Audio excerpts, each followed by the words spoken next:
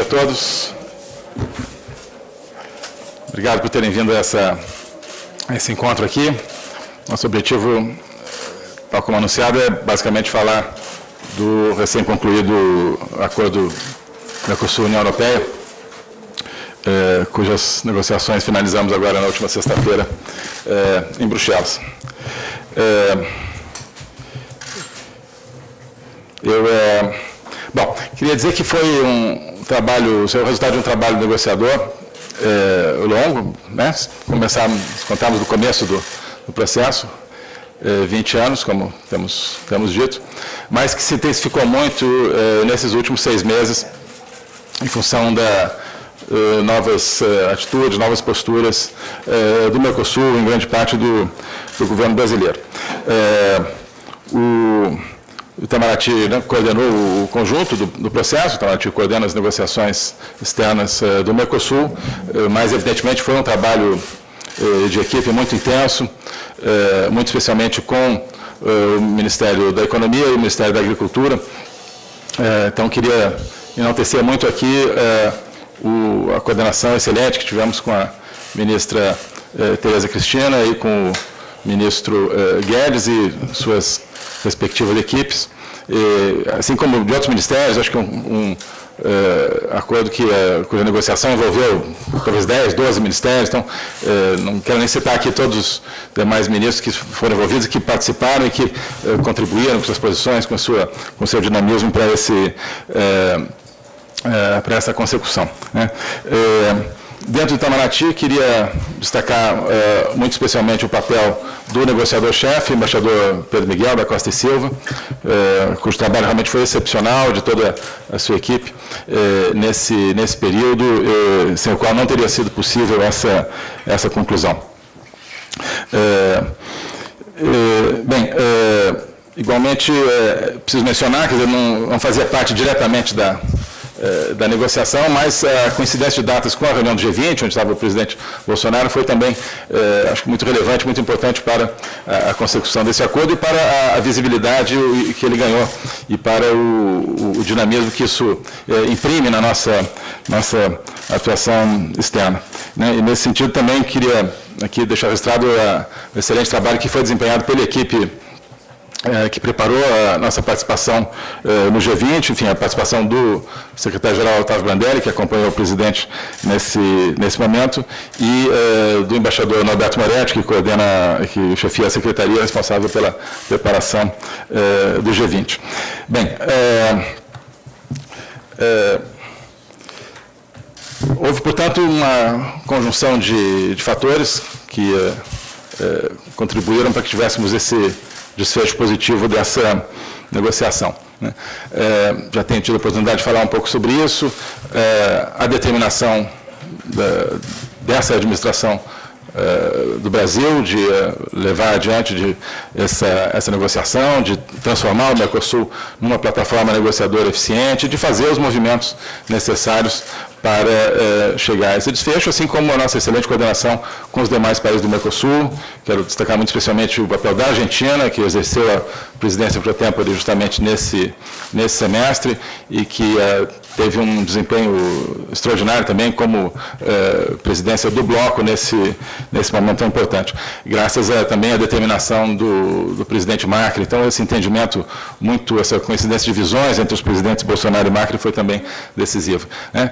Já mencionei a questão da, do trabalho em equipe dentro do governo brasileiro, e, e, não só no nível dos ministros, mas a excelente coordenação entre as equipes eh, negociadoras dos diferentes ministérios foi também eh, fundamental. Eh, eh eu acho que eh, esse acordo também é o resultado e ele abre uma, uma nova visão, uma nova visão de, de inserção internacional do Brasil. É, ele faz parte de uma visão que nós temos aqui no Itamaraty, que o, todo o governo tem, é, o ministro Guedes, é, muito especialmente, tem essa visão também, então nós estamos muito alinhados em torno disso, que é a visão de um, de um Brasil grande, né? de um Brasil no centro das grandes decisões mundiais, de um país que abre a sua economia para se inserir melhor na, nos fluxos internacionais, e isso também com parte de todo um processo de reformas internas que, temos certeza, fará o Brasil muito mais competitivo, uma economia muito mais sólida, dentro de um país eh, muito mais próspero e, e muito mais eh, eh, coeso, muito mais dinâmico. Né? nessa, nessa visão, nós enxergamos um, um país que tem os recursos naturais, que nós sabemos, que tem cada vez mais ah, ah, a benção de ser uma potência energética, com a, enfim, pré-sal e outras tantas, eh, e outras tantas fontes de, eh, de energia. O tema da energia barata é hoje absolutamente fundamental para o crescimento, para o desenvolvimento. um país que se dedica agora a atrair mais tecnologia, tecnologia de ponta, através de novas parcerias a criação de o que será, tenho certeza, uma rede de importantíssimos acordos comerciais, dos quais esse com a União Europeia é o primeiro, é, mas vamos adiante, concluindo as negociações que já estão em andamento e é, abrindo novas. Né?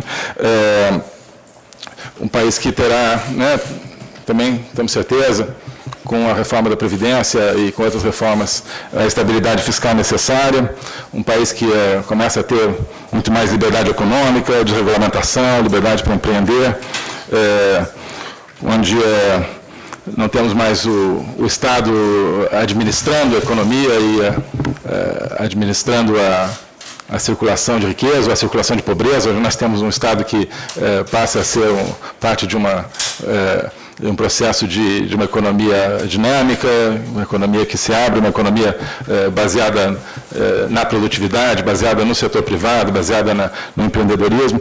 Então, eh, tudo isso junto, nós estamos vendo que pode transformar o Brasil, e temos certeza que vai transformar o Brasil numa, num, num grande, num, acho que podemos dizer isso, numa potência mundial. Né? Então, acho que essa, essa negociação com a União Europeia é, é parte desse processo. Né? É parte desse processo e ela está sendo celebrada, eu acredito, justamente por, por muitos, porque existe essa visão de que não é simplesmente esse acordo, que tem traz vantagens muito importantes para a economia brasileira, para o setor produtivo brasileiro. Mas que, além disso, é, é um, uma é, pedra importante nessa construção, nessa construção é, que tem né, diferentes dimensões, como eu dizia, é, de um país completamente diferente, de um Brasil grande, de um Brasil é, que se afirma e, e, que terá uma presença central é, no mundo. Bem, um, um, dos fatores fundamentais da, desse acordo com a União Europeia é que, além do mercado que ele abre para produtores brasileiros na, na União Europeia, ele começa um processo de eh, posicionamento do Brasil nas cadeias globais de valor. Hoje o Brasil está muito ausente dessas, dessas cadeias globais, que se formado de maneira muito acelerada nos últimos dez anos, e a, a, a nossa ausência na, nesse mundo das, dos grandes acordos comerciais vinha prejudicando o nosso setor produtivo, vinha esvaziando a nossa indústria, vinha eh, tornando o Brasil um país que não está nessa, eh, nessa redinamização da indústria, onde hoje você tem, né, os produtos não são produtos eh, de um país, né, geralmente, são produtos que têm partes, peças, componentes, serviços incorporados que vêm de dezenas de países diferentes. Né, e, e só com, com, a presença nessas grandes cadeias é que um país consegue seu desenvolvimento industrial e tecnológico. O Brasil passa a ser, com, é, com esse passo, um, um, país completamente diferente, muito mais presente nessas, nessas cadeias. Acho que isso é um dos motivos pelos quais o nosso setor industrial, pelo que eu tenho visto, tem é, elogiado o acordo com, com, grande, com grande entusiasmo. Né? Isso também porque, como eu disse, como o próprio presidente também afirmou lá em, no Japão, esse acordo destrava e acelera é, outras negociações. Então, também, além da importância em si, é, nós pretendemos, né, muito em breve, né, muito trabalho aqui para a nossa equipe, mas já mostrou que é totalmente capaz disso, é, fechar novos acordos. O Brasil assume agora, é, em julho, a presidência pro tempore do Mercosul, por, um, por esse semestre. É, acho que temos condições de fechar mais dois acordos aí nesse semestre, pelo menos, e é, mais a seguir outros, acho que num período aí de dois, de dois anos nesse governo, certamente teremos criado uma rede é, muito densa de acordos comerciais é, do Brasil, né, com grandes economias, com economias que são é, polos tecnológicos. Né, aí temos nessa, nessa lista de próximos acordos que pretendemos fechar a EFTA, né, a, a Zona de Livre Comércio Europeia, que tem os países europeus que não são membros da UE, Singapura, Coreia, Canadá, esses que já estão em andamento. Acho que uh, esse acordo com a União Europeia gera um interesse crescente uh, do Japão, por exemplo, com a negociação conosco. Uh, com os Estados Unidos, né, como o senhor sabe, nós já lançamos na visita presidencial a, a parceria para a prosperidade, que é um, uma, um digamos, um guarda-chuva para o que nós queremos que sejam diferentes acordos comerciais com os Estados Unidos. Vamos passar a sentar uh, com uh, os Estados Unidos para definir uh, de melhor maneira o que serão, que forma terão os acordos, mas pelo lado americano também já foi expresso pelo próprio presidente Trump o desejo de ter essa interação comercial conosco, de modo que, enfim, continuamos também é, claro, engajados em, outros formatos com outros parceiros, por exemplo, com a China, evidentemente, já temos conseguido é, vantagens interessantes com a, com a, China, sobretudo no mercado agrícola, vamos continuar investindo nesse, nesse mercado e em muitos outros, outros mercados fundamentais do, é, do Oriente Médio, por exemplo, né, é, onde é, também já tem havido sinalizações eh, extremamente promissoras, também no mais alto nível de interesse em investir no Brasil, por parte eh, da Arábia Saudita, por exemplo, agora também no, no contato que houve no G20, eh, dos Emirados Árabes Unidos, tem, querem aprofundar muitos laços conosco. Bom, com Israel já temos, né, nesses últimos meses, transformado completamente a relação, uma relação muito mais densa nessa área econômica, tecnológica, comercial, enfim. tudo isso vai eh, colocando de repente o Brasil no centro eh, de um processo onde nós estávamos muito distantes, não, estávamos nem enxergando esse processo eh, da, das cadeias de valor, dessa reconfiguração do desenvolvimento mundial. Né? passamos a estar no, no centro disso, disso tudo, por isso que nós vemos com muito entusiasmo esse, esse horizonte que, que se abre. Né? acho que também cada, cada acordo que a gente conclui é mais fácil concluir os próximos, né? espero que não leve 20 anos, certamente não levará para os próximos acordos. Né? É, e cada acordo que você faz se, se, torna um parceiro mais interessante para, os, para os, aqueles com quem você ainda não tem. Né? Isso te coloca numa posição negociadora melhor. Isso também é o efeito dessa negociação que nós concluímos. Né? É, é, eu acho importante mencionar o seguinte também, que um, além da, das cadeias globais de valor, o Brasil também acho que está entrando é, nas cadeias globais de ideias. Né? É, nós estamos colocando as nossas visões, é, então tudo que nós estamos fazendo nessa dimensão, ela eh, essas, esses avanços se fazem dentro de uma visão de mundo que nós temos, dentro de uma visão de mundo né, de trabalhar a partir de uma identidade nacional, trabalhar a partir eh, dos valores do povo brasileiro. Isso faz parte, não é uma coisa pesada a outra, ao contrário, uma coisa eh, reforça a outra. Né? Isso tem muito a ver com aquilo que eu e outras pessoas temos falado, eu certamente tenho falado disso, da Aliança Liberal Conservadora. Né? Quer dizer, esse grande amálgama que está surgindo no Brasil, que está surgindo em outras partes do mundo, né, que é de uma eh, economia que se abre, de uma economia baseada eh, no liberalismo, e ao mesmo tempo com uma base sólida, com uma base saudável de uma sociedade com, eh, com valores profundos. Né? isso são coisas que se encaixam perfeitamente, não há nenhuma incompatibilidade, muito pelo contrário, há um reforço mútuo entre essas duas, essas duas dimensões. Né? Eu acho que, então, é, o Brasil tem levado esse tipo de atitude, esse tipo de, de ideias, isso foi visto no, acho que no G20, né? Na negociação, nessa frente negociadora com a União Europeia, enfim, temos feito isso em todas as frentes. Quer dizer, um Brasil que é Brasil, né? um Brasil que não está tentando se, se a, a, ajustar a determinadas uh, dimensões que não, nos, uh, que não nos interessam, que nos são estranhas. Ao contrário, é um país que está fazendo a diferença. Né?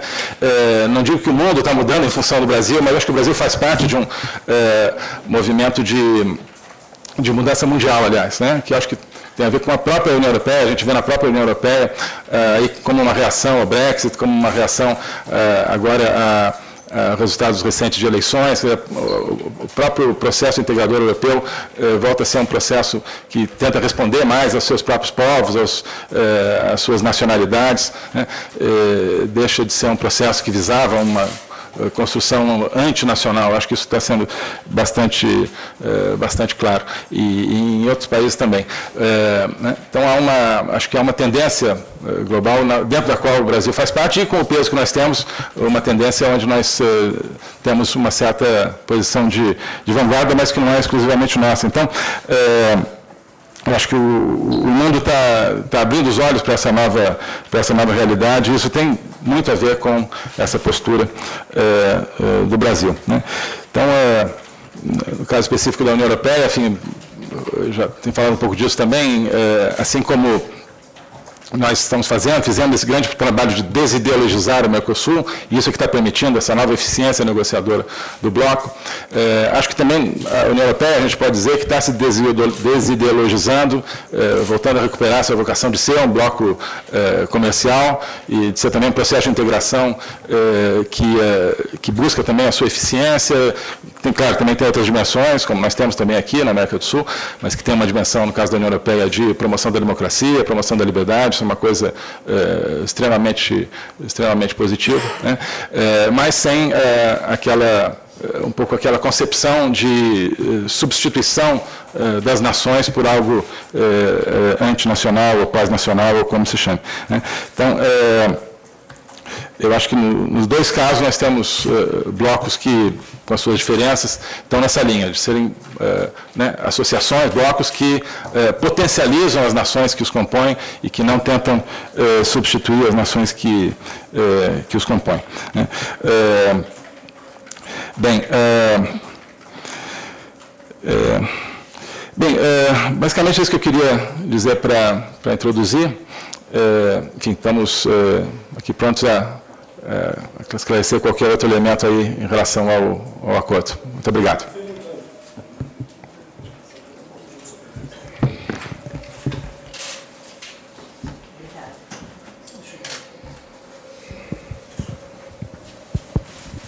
Bom dia, ministro.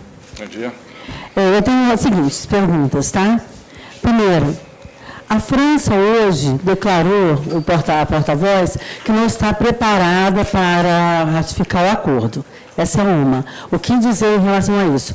A segunda, o Brasil está comprometido, é, ontem saíram dados sobre desmatamento em junho, quase 60% em relação ao mesmo mês de 2018, na Amazônia. O Brasil está comprometido realmente a reduzir o desmatamento? E, por último, o senhor falou numa rede do Brasil de, de, de acordos dois, nos próximos dois anos. O senhor citou vários mercados, inclusive os Estados Unidos. Já, conversou, já foi iniciada uma conversa? Pelo que eu entendi, sim. Mas queria que o senhor confirmasse, comentasse. Obrigada. Muito obrigado, Eliane. Bom, sobre. Uh, eu li uh, basicamente o que saiu na, na, imprensa hoje, das declarações que foram do, do porta-voz da, da presidência francesa. Enfim, antes de mais nada, dizer que enfim, são, né, esse tipo de declaração de, de um porta-voz, geralmente ela visa muito a, ao público interno. Né? Então, é, enfim, não, é, acho que não é muito caso de, de é, enfim, reagir diretamente a, a, esse tipo de declaração. Mas só para comentar, é, bom, em primeiro lugar que é, enfim, o, processo de ratificação, enfim, não sei exatamente como é o, o rito constitucional na França, mas eu entendo que né, certamente ainda exigirá é, a a aprovação pelo parlamento francês, quer dizer, o acordo ainda nem está pronto para ser submetido aos parlamentos nacionais, nem na França, nem aqui, ainda é necessário todo uh, o que se chama né, o, a sintonia fina da linguagem jurídica do, do acordo, isso ainda leva algum tempo, depois é que ele pode ser submetido aos parlamentos. É, os parlamentos têm que aprovar, acho que é o caso, e depois é que é a ratificação. Então, enfim, acho que né, no momento nenhum país está pronto a ratificar diante da sua própria, da própria é, questão é, é, constitucional. Né?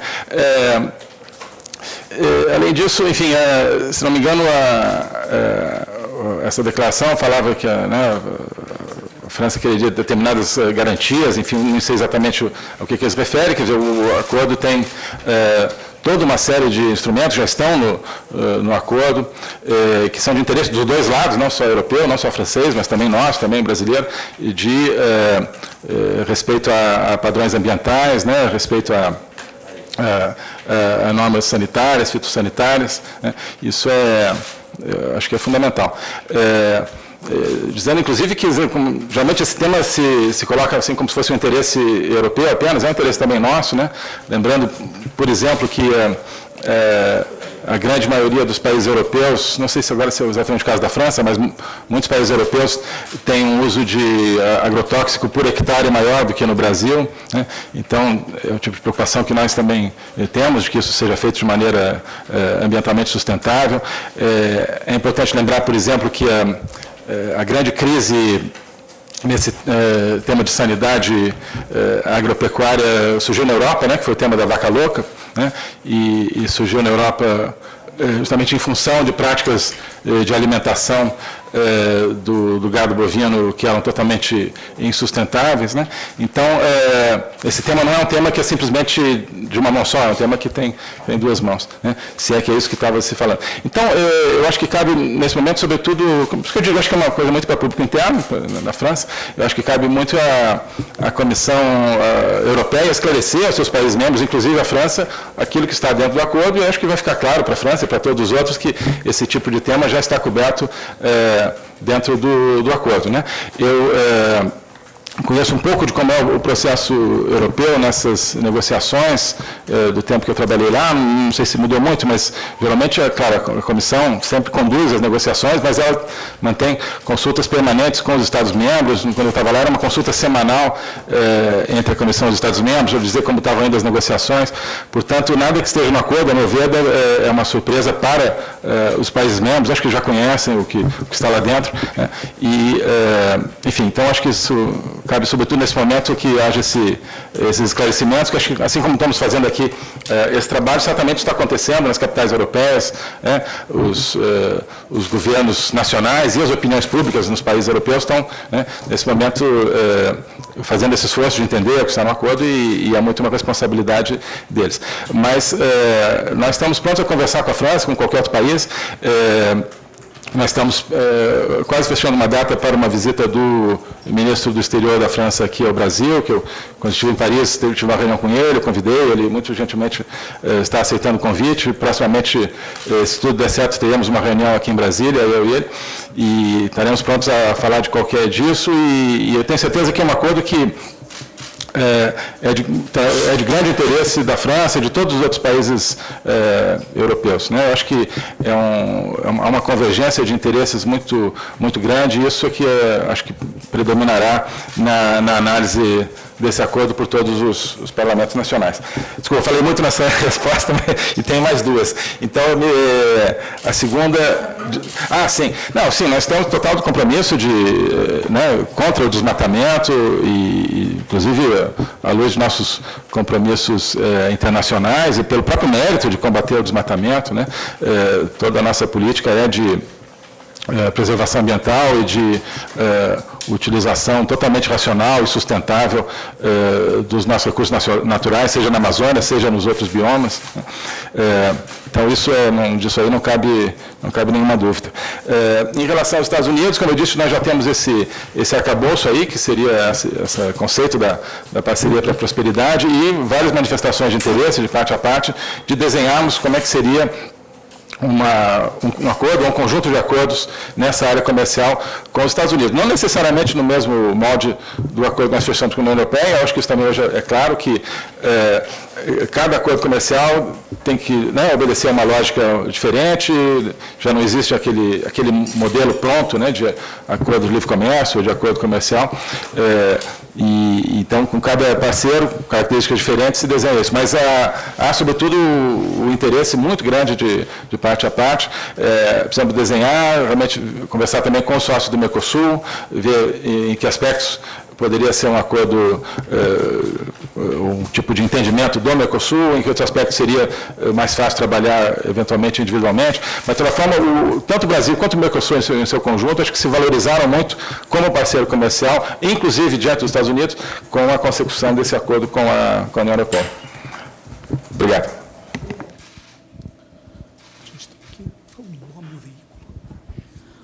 Olá, ministro Renato Agostini do Estadão, tudo bem? Eu queria pedir que o senhor explicasse um pouco melhor esse aspecto que o senhor falou no final de sua fala sobre a desideologização da União Europeia. O que exatamente, é, na, na condução desse acordo, ou recentemente, é, a, o bloco é, fez para que é, houvesse essa mudança de postura tão claramente. Uh, e em relação à China, o senhor comentou que o país também está é, iniciando conversas, disposto a fazer acordos. Queria entender um pouco melhor em que pé estamos, o que, que o Brasil quer dessa negociação com a China e se os parceiros do Mercosul também estão compartilhando essa mesma disposição com a China. Obrigada. Pois não, obrigado, Renato. É, bom, em relação à, à primeira questão, é, no passado, nesse longo passado aí de interação do Mercosul com a, com a União Europeia, houve momentos em que a gente via muito é, o lado europeu é, tentando é, um pouco impor o um modelo de integração europeia ao Mercosul. Né?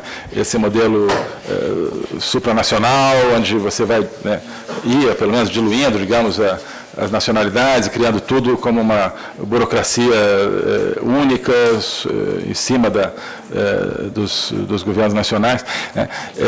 então, era um pouco uma situação onde, além de negociar comércio, um pouco que havia uma uma ideia de que a gente estava comprando um, também um, um, modelo de integração para o Mercosul. Isso não existe mais. Né? Isso hoje está claro que são dois blocos que têm características diferentes. Né? Que, eh, enfim, eh, ambos valorizam eh, a ideia da integração, mas diferentemente. Né? Então, no nosso caso, eu vi, tenho visto isso muito expresso, manifestado, essas que eu chamei de desideologização, através disso, né? através de uma atitude de olha, o Mercosul é o Mercosul. Né? O Mercosul é um processo intergovernamental, não é supranacional, por exemplo. Né? O Mercosul tem essas características, né? a União Europeia tem outras. Né? E, e, enfim, isso eu acho que, inclusive, contribuiu muito para a negociação, essa, essa ideia de um, de um respeito mútuo e de uma, de uma atenção uh, mútua, independentemente dessa diferença de, de modelos. Né? É, outras questões, que aí é mais uma questão, claro, de, do debate interno que está acontecendo na Europa, que é um debate muito, uh, muito rico, né? É, que teve essa. Né, não quero comentar muito, claro, porque a gente não, não, faz parte daquele sistema lá, mas claro que a gente olha com grande atenção. Né, é, né, muito em função da questão do Brexit, né, que foi um, né, um choque muito para a integração, é, para o processo de integração europeu, mas que já tinha alguns antecedentes, alguns plebiscitos em que é, avanços nessa integração é, contínua é, pós-nacional na União Europeia vinham sendo, é, às vezes, rejeitados em, plebiscitos nacionais. Bem, é, e acho que hoje é, muito claro que, para muitas pessoas na, na, União Europeia, que, no caso do, dos britânicos, a maioria quer sair. Né? Mas de outros países que, né, que, que não querem sair, mas querem que o bloco seja algo que uh, respeite as, uh, as individualidades uh, nacionais, seja um bloco que traga né, eficiência econômica, mas que não seja algo que sub se substitua a essas, a essas identidades. Né? Então, acho que durante muito tempo se falava União Europeia e se associava automaticamente com esse conceito. Nação é ruim, pós-nação, integração pós-nacional é bom. Acho que isso já não existe, né? Isso já não existe. E uma das das instâncias em que isso se manifesta, acho que foi essa atitude é, diferente da, da, União Europeia em relação ao, ao Mercosul, muito mais, é, é muito mais, como eu digo, de igual para igual do que em, em, momentos lá no passado mais remoto. Bem, é, China. É, bem, no caso da China, nós, hoje, o Mercosul têm cada um sua, sua estratégia, sua relação comercial eh, com a China. Eh, é um mercado que nós estamos eh, procurando abrir, sobretudo né, na, na área que no momento é que temos mais interesse em aumentar a nossa presença, que é a agropecuária, sem, é, sem detrimento, claro, da, da, área industrial, mas aí, claro, é um mercado bem mais difícil na, na, área, na área industrial. É, então, estamos, tentando, quer dizer, né, são ações pontuais aí com a China para abrir novos novos mercados interessantes, eh, sobretudo nessa parte agrícola e também na, na parte de, eh, de, atração de tecnologia, de investimentos chineses no, eh, no Brasil. Então, é um pouco esse, esse o desenho sem um, um acordo, né, estruturado, mas com base em, né, diferente, porque é o que nós, é um processo que nós temos, é um processo que está se revelando útil, né, na medida que nós uh, saibamos usá-lo, acho que estamos tentando usá-lo de maneira mais eficiente. Né, então é um processo que existe e que né, nesses, nesses últimos meses já conseguimos alguns resultados, pretendemos continuar conseguindo esse tipo de resultados. Né. É, então, no momento não há é, uma ideia de uma interação conjunta do Mercosul com, a, com a China. Bem?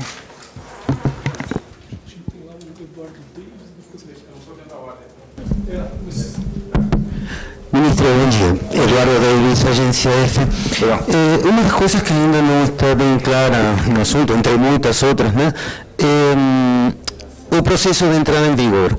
Eh, se, se, fala que no Mercosul estão discutindo que seria a medida que cada um dos países fosse ratificado. Primeiro, isso ainda está sendo negociado ou já está, já está decidido. Segundo, isso não, não precisa também um, um acordo com, com a União Europeia para isso?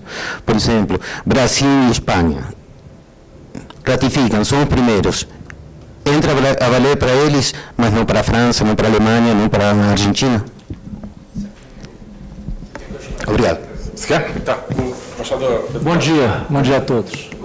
É, acho que no caso, a resposta rápida é que no caso da União Europeia é, é em bloco, não é por país.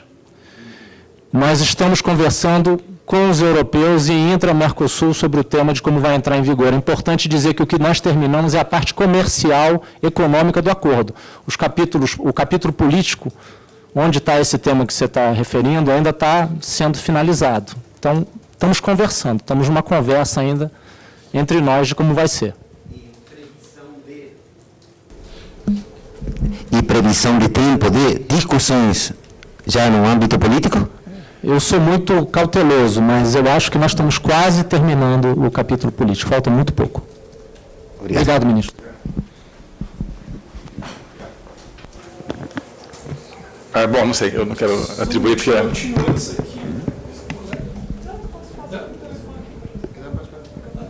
Posso depois.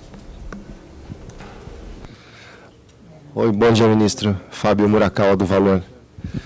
É, queria saber o seguinte: primeiro, o que, que o senhor acha é, de declarações dessa, como, como de representantes do próprio ministro do, do Meio Ambiente francês, falando que o Brasil vai ter que é, mudar a política ambiental, a postura em relação ao meio ambiente, para que a França é, aceite aderir ao acordo.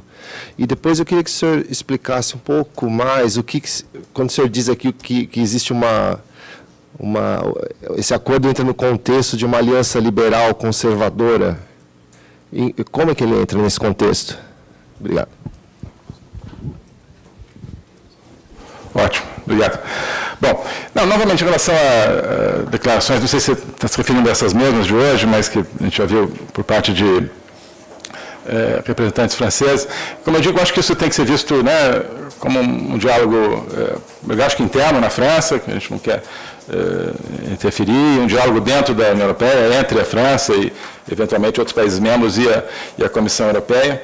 É, eu, como disse antes, tenho certeza de que acho que todos esses tipos de preocupação é, que a, França, no caso, possa ter, já estão contempladas em diferentes elementos do, do acordo. Né?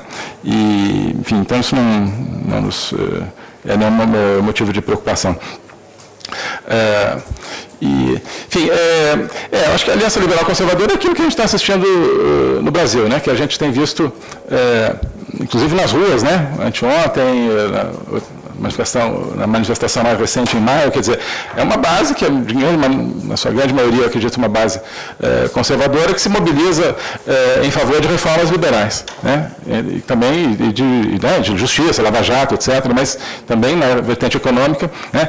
É, então, uma grande, né, um grande Brasil conservador que se, que se mobiliza em favor de reformas eh, liberais, de abertura econômica. Né? Então, acho que isso é um, é um, é um privilégio para um país ter essa, essa eh, coligação de maneira tão, tão coerente, tão autêntica, por isso não é uma coisa forçada, isso é uma coisa que nasce espontaneamente da, eh, das pessoas, eu acredito. Né?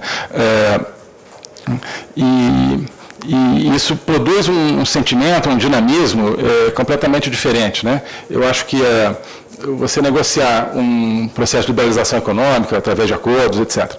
É, quando você tem uma população que é indiferente, quando isso só interessa a, digamos, os empresários, ou quando isso só interessa ao setor produtivo mais diretamente, é uma coisa.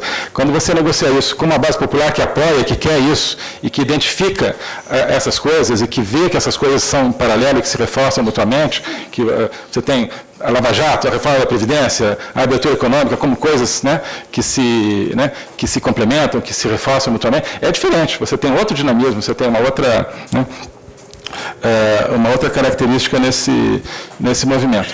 Então, é, eu acho que isso é algo de que a gente se beneficia hoje, né, na, nessa frente que nós estamos falando aqui, na frente comercial e econômica, nós um, temos uma população que quer, que quer acordos, que quer bons acordos, que quer essa inserção do Brasil competitiva através do empreendedorismo, através da abertura, através da, da facilidade de fazer negócios. Né? Isso é uma agenda que no, no, passado, eu acho que podia se considerar que era uma agenda aqui e que a agenda eh, conservadora é uma agenda lá. Hoje elas são a mesma agenda. Então isso, isso dá, gera uma, uma energia positiva muito maior do que em outros momentos. É uma, é uma aliança interna, se refere a uma aliança interna, não uma aliança global é, é, é uma aliança, e é uma aliança, como digo, espontânea, né? Quer dizer, não, né? ninguém chegou lá e assinou um documento que justamente a torna mais, mais sólida, né? E não é uma aliança de, de conveniência, né? é uma aliança de sentimento e uma aliança de convicção dentro do Brasil, tenho certeza disso. Né? É, e, é, e acho que isso está acontecendo em é, outros lugares do mundo de maneiras diferentes, mas no Brasil eu vejo isso muito claramente. Acho que o Brasil está tá muito na, é, na vanguarda dessa, dessa, dessa dinâmica. Ministro, perguntas. Tá, perdão. Então, a Mariana lá e depois. Tá. Não, deixa, não, deixa eu assim. É, tá bem. Dia, ministro. Mariana Schreiber, da BBC News Brasil. Eh, eu queria fazer duas perguntas que vão estar um pouco acompanhando o que o colega colocou. Né? Em primeiro lugar, o senhor tem um discurso forte de crítica ao movimento que o senhor chama de globalismo. Eh, então, isso, de certa forma, se alinhava também com a postura do presidente de falar em mudanças no Acordo de Paris, que, enfim, o Acordo de Paris seria submeter a nossa soberania, etc. E, pelo que a gente está entendendo, no acordo político que, que está sendo fechado, o Brasil vai se comprometer com o Acordo de Paris. Então, é, esse acordo amarra o Brasil ao Acordo de Paris, é uma concessão que o governo fez, é um pragmatismo que se colocou é, em busca de um alcance maior né, desse acordo. E a segunda pergunta é também nessa linha do que o senhor está falando da aliança conservadora, liberal. O senhor falou aqui no Brasil, que é Brasil, o senhor tem falado isso recorrentemente, né? É, e eu fico com a sensação de que a sua fala ela nega um pluralismo de Brasil, porque obviamente o Brasil é múltiplo, me parece pelo menos, né? A gente tem um grupo conservador, tem outros grupos progressistas, podem ser minoria, às vezes é, é dinâmico, né? Isso muda na sociedade. Então eu queria entender como que o senhor vê esse pluralismo do Brasil, como que o governo tem que se relacionar com esse pluralismo. É, enfim, se o senhor nega esse pluralismo, reconhece esse pluralismo. Obrigado, obrigado. Bom, em relação à Acordo de Paris e outros compromissos, é, basicamente no, no acordo com a União Europeia nós reafirmamos, todos os membros do acordo, reafirmam seus compromissos com diferentes instrumentos ambientais, inclusive o, é, o Acordo de Paris, né? É, onde há compromissos por parte do Brasil, mas também dos países europeus, no caso, né? É, que nós também esperamos ver implementados, inclusive compromissos que são deles e são de outros países desenvolvidos, de desembolso de recursos para financiamento de, né, de energias renováveis, esse tipo de coisa. Né?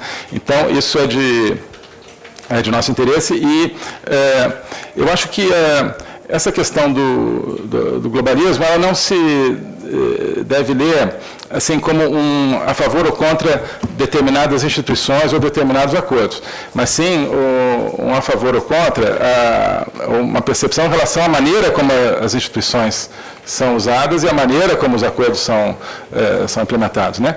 Então, eh, né, todo o sistema Nações Unidas, vários órgãos Nações Unidas, né, nós estamos totalmente lá dentro, mas queremos justamente que eles sejam que eles funcionem em favor de, né, de pautas que são as pautas dos países membros, claro que é sempre difícil encontrar os, os acordos, né, é, e não pautas que são né, colocadas a partir é, de é, de organizações não governamentais, por exemplo, né, que né, não, não, são parte né, desses acordos, que são acordos, são organismos internacionais. Né, então, é, né, Nações Unidas, sempre falo isso, né, Nações Unidas são Nações Unidas, são nações que sentam lá, enfim.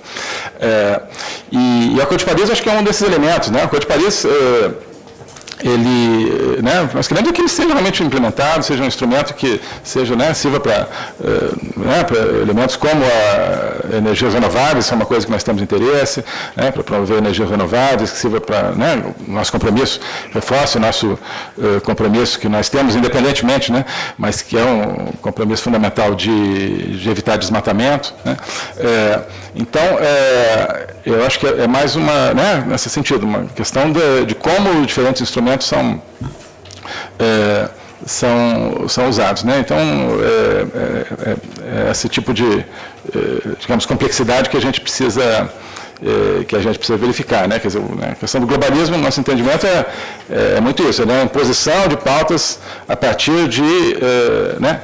entidades aí que não são os países nessa vida nessa vida internacional. Bem, não, não, vejo como uma concessão, vejo uma, uma, uma reafirmação de, né, de algo que nós, enfim, como né, já falamos no passado, temos algumas é, críticas ao, ao, acordo, muito especialmente essa questão de ele ser, vem sendo implementado por uns e não por outros, né? É, mas não, não, não vejo como uma concessão, não, enfim, né, o Pacto Assunto Servanda, nós estamos no acordo para para mantê-lo e esperamos que todos estejam também para mantê-lo. É, você perguntava sobre a, ah, o negócio do pluralismo. Sim, é, eu acho que, não, claro, eu sou uma sociedade é, plural, mas acho que o, o, pluralismo ele não deve ser entendido assim como uma, uma coisa paralisante, né? ou como um, é, um mínimo denominador comum. Né? Então, é, eu acho que é preciso eh, digamos, dar vazão às forças da sociedade que querem é, né, um, país grande, que querem é, viver em conjunto de uma maneira harmônica, dinâmica, numa sociedade que, que faça sentido. Eu não vejo isso como uma coisa é, partidária, acho que todos os brasileiros, né, de uma maneira ou de outra, são, são parte disso. É claro que eu acho que hoje alguns grupos expressam isso de maneira diferente, de maneira mais, mais intensa, né, mas é, eu acho que né, o Brasil, que é Brasil, o que é? É o, é o patriotismo, né? E eu acho que o patriotismo é em qualquer sociedade, uma força extraordinária de crescimento, de mobilização social, né, de fazer coisas, é, é, progredir em, em, diferentes áreas. Né? É, eu acho que a sociedade pluralista não deve se confundir com uma sociedade fria, né? com uma sociedade onde as pessoas, né, cada um na sua, não interagem, onde é, né, a, a, bandeira não mobiliza mais ninguém, onde o hino não mobiliza mais ninguém. Né? É, eu acho que isso aí não é pluralismo, isso aí é uma questão de indiferença. Eu acho que a gente não deve confundir pluralismo com, com indiferença. E aproveitar, o povo brasileiro, acho que hoje está se revelando, é um povo, há muito tempo, né, sempre foi, é, é um povo patriótico, e isso gera uma energia, como eu dizia também dessa questão da, da Aliança Liberal Conservadora, isso gera uma energia extraordinária de, de crescimento, né, que precisa ser é, que precisa ser, ter vazão, e acho que está tendo vazão, né? e precisa ser um, algo, um caudal que vai construindo coisas, que vai levando a, a, né, a novos resultados, como a gente está vendo. Bem.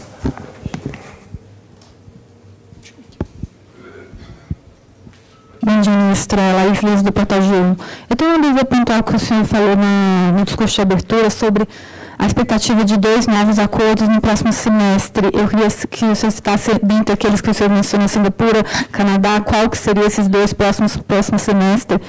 E uma coisa é, com relação, a gente está vendo agora uma resistência de setores pontuais contra a reforma da Previdência e um leve elemento do Congresso para se evitar a inclusão. E eu queria saber se o, o que, que o senhor é, espera de resistência, por exemplo, do setor automotivo, que tem uma, vai ter a redução das, das, das tarifas de entrada e não tem uma contrapartida ao mesmo tempo no mercado europeu, a resistência desses setores ali dentro do Congresso contra o acordo.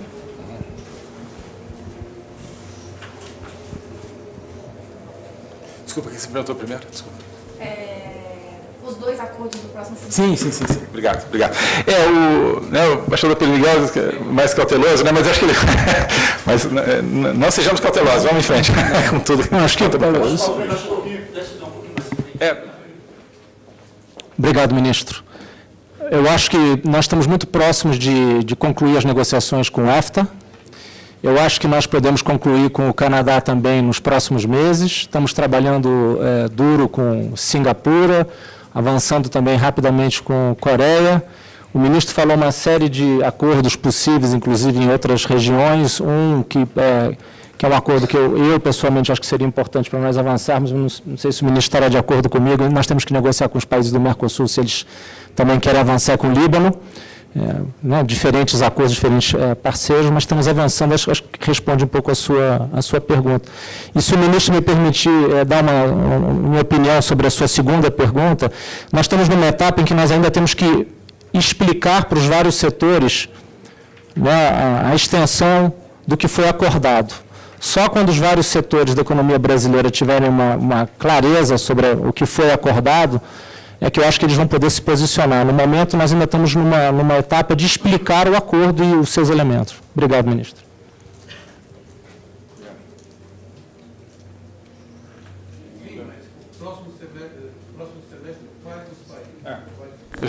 É, eu acho que o né, embaixador eh, Pedro deu a, a noção um pouco do, dos que estão mais próximos, então esperamos que desses a gente consiga.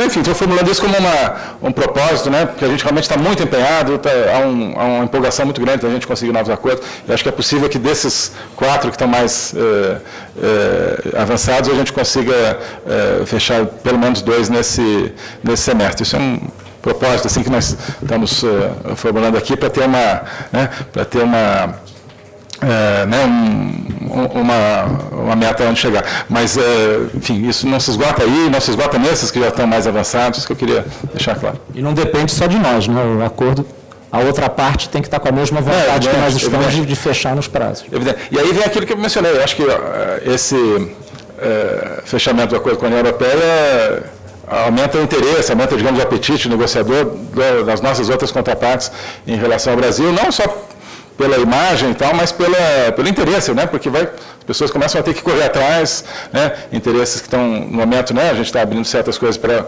a União Europeia, outros países que concorrem vão se ver em desvantagem se não negociarem conosco. Então, é, há uma dinâmica em que é, um vai acelerando o outro.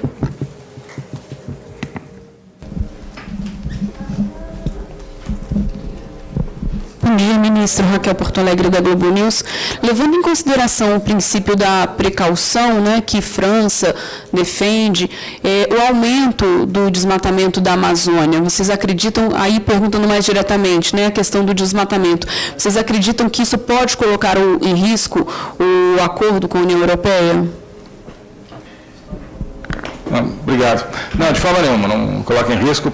É, o princípio da precaução, ele existe basicamente para quando surge uma é, situação concreta de um lado ou de outro, né? Sempre bom lembrar que o princípio da precaução não é só de lá para cá, é daqui para lá também. É, alguma, com algum produto concreto que pode causar dano à saúde, por exemplo, e, e antes de haver é, um estudo científico completo em relação a esse a esse produto, no caso, que se possam suspender importações com base em alguns indícios, de, mas tudo isso sujeito a todo um tipo de regras, todo um tipo de, é, de avaliação. Né? É, então, quer dizer, isso não, né, a questão de, de desmatamento não, não tem relação com esse, com esse princípio, da, com esse enfoque da precaução. Pedro gostaria de completar? É, nós negociamos é, com, com, os europeus, isso é um tema de, de, importância para eles, mas também nós queremos garantir que esse princípio não é usado de forma equivocada. Então, nas negociações, o dia que forem publicados os textos, vocês verão que nós conseguimos um texto em que está lá o princípio, mas que o Mercosul conseguiu colocar lá uma série de garantias para que o, não seja usado como uma barreira ao comércio. Esse, esse, o resumo é esse.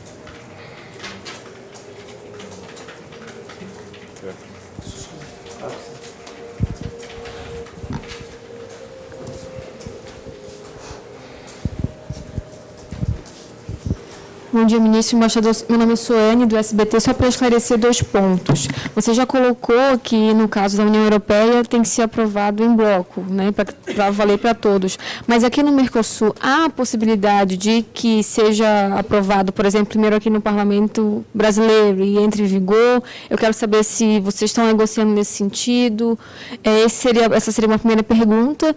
E a segunda pergunta é se essa questão da França, por exemplo, pode fazer com que atrase, independente independentemente da resistência que o país esteja colocando, que isso é uma coisa que vai se ainda se esclarecer ao longo do tempo, mas se é possível que o acordo seja postergado ou que não seja fechado por causa de algum dos países que tenha alguma das resistências em relação ao acordo. Obrigado, obrigado. É, não, só para voltar então à questão da, da entrada em vigor, dizer, na, Juridicamente, pelo que entendo, na União Europeia isso não é possível, entrar em vigor por parte de países individuais da União Europeia. No caso do Mercosul, isso é juridicamente possível, mas não está ainda decidido politicamente entre os quatro se, se nós vamos querer a, aplicar esse princípio pelo nosso, pelo nosso lado. Né? É, e, é, desculpa, estou com a memória... É, questão da França. Da França, da França. Não, eu acho que não. Enfim, é, é um processo que, por natureza, tende a ser lento, porque, né, independentemente do, do conteúdo dos acordos, né, você pensar em. É, são 33 parlamentos no total, né, que tem os 28 países membros da União Europeia, com seus parlamentos, mais o próprio Parlamento Europeu, e aqui nós temos, somos quatro. Né? Então, pelas minhas contas, dá 33. É, de modo que. Né, é, até pela lei dos grandes números, assim, é, é, é, é difícil, né? é um processo que tende a ser lento, mas esperamos que, por todo o interesse enorme que esse acordo tem para todos os países envolvidos, inclusive a França, né? que ele seja acelerado. Porque, por exemplo, por hipótese, acho que não, quando esse acordo chegar no parlamento francês, né? talvez você tenha algum outro setor que tem alguma preocupação, você vai ter dezenas de setores que são beneficiados pelo acordo que vão fazer pressão para que ele seja aprovado logo e entre em vigor logo. A mesma coisa aqui, a mesma coisa né, em qualquer outro, outro país. Então, eu acho que pela sua dimensão, claro que ele vai ser sujeito a um escrutínio né, muito muito uh, detalhado, assim que tem que ser em todos os processos uh, democráticos, mas acho justamente pelo grande interesse econômico, acho que pelo equilíbrio de interesses uh, alto que esse acordo atingiu, acho que a tendência é que em cada país os setores que se beneficiam vão atuar em favor e vão tentar acelerar esse, esse processo. Acho que essa é a tendência.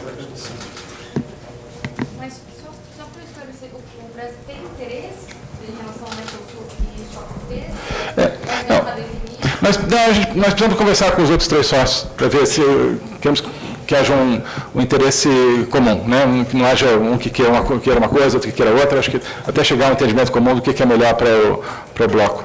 Tem alguma previsão ainda ah, é. Não, isso é uma coisa que acho que até pode surgir na, na cúpula do Mercosul agora, daqui a duas semanas, né, em, em Santa Fé. Por exemplo, é um tema que pode ser, ser conversado. Né?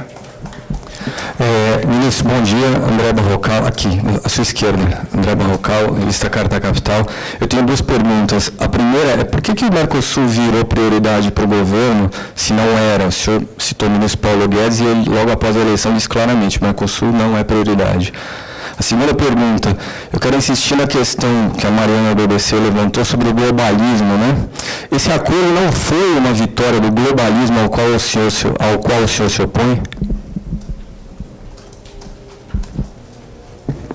Muito obrigado. Bom, é, a questão da prioridade do Mercosul tem a ver com o que eu já mencionei, quer dizer, que o, uma instituição ou uma entidade, ela não tem um valor eh, necessariamente em si mesma, né? o uso que se faz dela e, e o conteúdo que existe ali dentro. Né?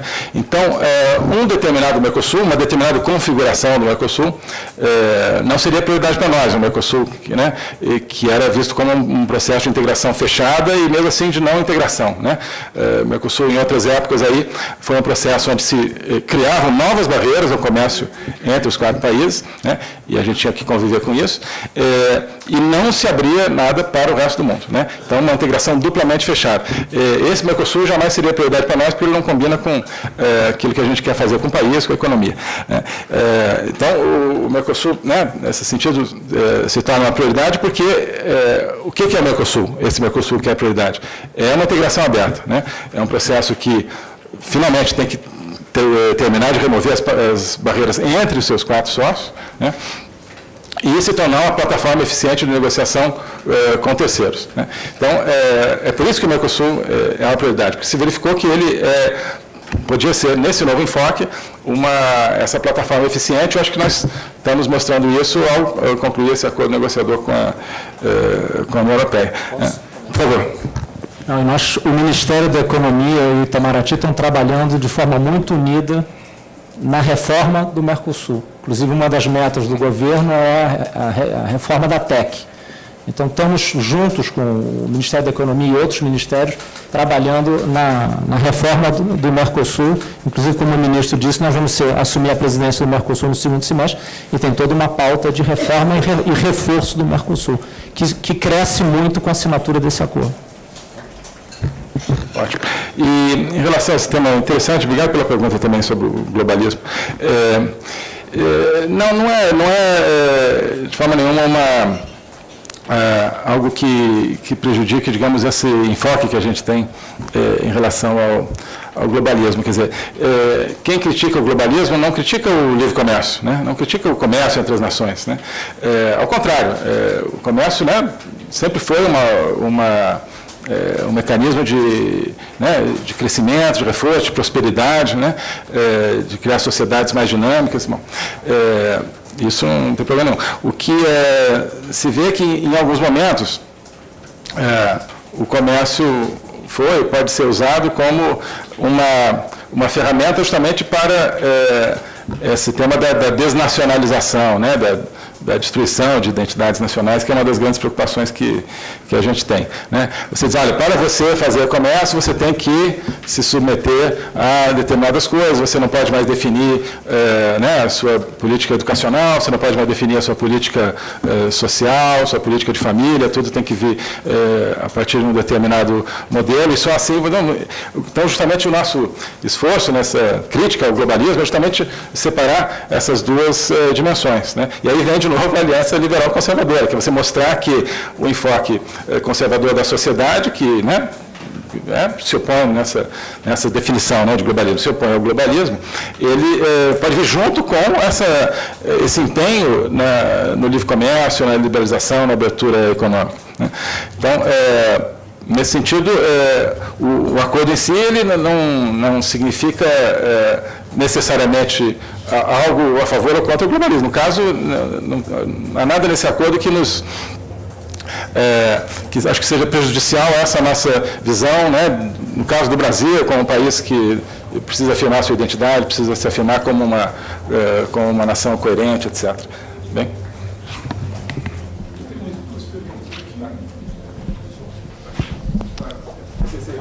Eu, eu, você tá, você tá, eu estou com uma lista aqui. Ah, então tá Eu aqui? Bom dia, ministro embaixador Rafael do Canal Rural. Quero falar aqui do, do setor agrícola e pecuário. A ministra Tereza Cristina falou que foi um acordo confortável para o setor, mas já começam algumas reações. Primeiro, eu queria te perguntar o que, que o senhor destaca das negociações de produtos agropecuários, o que, que considera maiores conquistas nesse acordo firmado lá com a União Europeia, e reações de setores, por exemplo, vinhos, lácteos, são setores já sensíveis aqui dentro, se o que esperar das reações deles é, um, é um, como o embaixador falou, um momento de explicar primeiro o que foi feito, mas o que já esperar dessas reações, se algo vai ser feito também para fortalecer esses setores aqui dentro. Uma, uma segunda pergunta sobre como vai ser a divisão das cotas. Sabe que tem produtos produzidos em outros países do, do Mercosul, arroz, por exemplo, na Argentina, no Paraguai, que são mais baratos que aqui. Vai ter garantia que o Brasil terá participação em todos esses produtos que foram firmadas cotas com a União Europeia? Obrigado. São várias, é, complexas as perguntas. É, primeiro, eu acho que é, quem pode responder melhor sobre quais foram os grandes ganhos é o próprio Ministério da Agricultura. Mas eu, eu destacaria duas coisas. Além das cotas, açúcar, carne bovina, carne de frango, carne suína, etanol, aí a memória me falha, deve ter uma série de outras que eu estou esquecendo.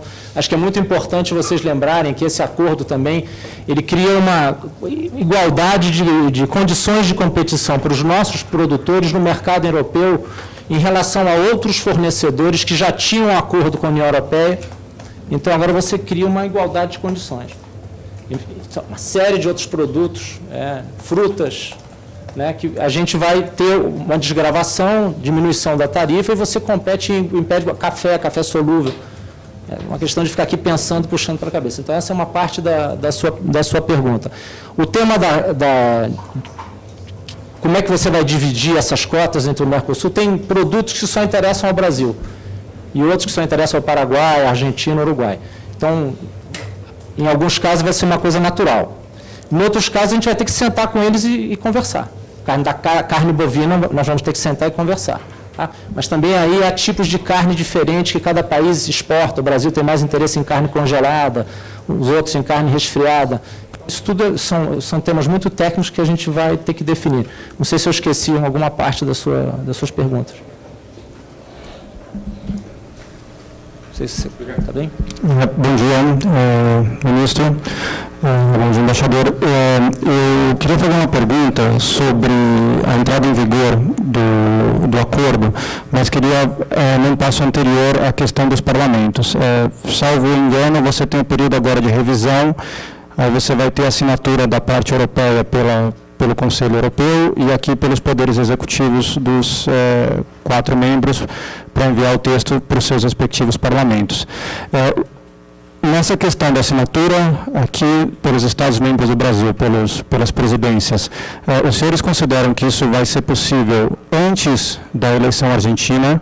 Eh, existe algum risco, já como o próprio presidente Bolsonaro menciona, eh, a questão da possível volta de um governo kirchnerista na Argentina, com uma visão mais protecionista? Eh, os senhores identificam algum risco de que se essa assinatura for eh, para depois desse calendário eleitoral, uma eventual mudança de poder na Argentina com uma outra visão, é, coloque algum tipo de dificuldade, coloque em risco é, que esse acordo saia do papel? Muito obrigado. É, bem, é, em função do trabalho que ainda é necessário de é, jurídico, digamos, para realmente transformar, rever toda a linguagem jurídica do acordo, que ainda é necessário, eu acho difícil que ele possa ser assinado antes de outubro, onde, quando são as, as eleições argentinas. Né? E, então, que leva para a sua segunda pergunta. É, eu acho que é claríssimo o, o, empenho, o comprometimento que o governo argentino com o presidente Macri tem é, nesse acordo. Né? Como eu disse no começo, esse engajamento argentino nessa presidência para tempo argentina foi absolutamente fundamental para é, essa conclusão é, exitosa, juntamente com a, com a disposição negociadora do Brasil. Né? É, então, isso é, é, a situação que é, nós temos. Né? É, eu acho que cabe aos argentinos, né, na eleição, levar isso em conta, entre outras coisas que levarão em conta no momento da, da sua decisão. Quer dizer, se né, é, existe um, determinados candidatos que colocarão em risco a participação argentina nesse, nesse acordo, com as vantagens que ele tem, as pessoas acho que levarão isso em conta. Né? Enquanto que, do ponto de vista do, do governo do presidente Macri, acho que é claríssimo o, o empenho total eh, dentro de uma visão estratégica argentina, que é muito uh, coincidente com a nossa, do que é o processo de integração, do que é o processo de uma integração aberta. Então, é, já está claríssimo que, por parte do presidente Macri e do seu time, existe um compromisso é, total com, com esse acordo e com essa linha, né? porque, como eu digo, esse acordo é, se tudo der certo, o começo de todo um processo de uma série de acordos muito significativos é, no, no, curto prazo, acho que podemos dizer assim, que colocará, claro, falei do Brasil, estamos aqui, mas que colocará também a Argentina é, como um, outro, né, com uma posição completamente diferente, muito melhor nas cadeias de valor, com muito mais condições de atração de investimentos. Né. Acho que esse tema da atração de investimentos é uma das grandes prioridades, inclusive, do governo argentino nesse acordo, que já espera que isso comece a se materializar, como no nosso caso também, que investimentos comecem a se materializar mesmo antes da entrada em vigor do acordo. Acho que isso eh, vai acontecer já proximamente, né, os empresários já vão começar a se reposicionar nos mercados do Mercosul. Então, acho que certamente a, a atitude, isso né, caberá claro aos argentinos, a, a atitude de cada candidato em relação ao acordo Mercosul-União Europeia e a essa estratégia de reinserção comercial, é, será uma coisa que os argentinos vão ter que avaliar né, e, e, se posicionar de acordo. Eu acho que no caso, como eu dizia, do, do governo do presidente Macri, do presidente Macri, está é, claríssima qual é a, a posição. Obrigado.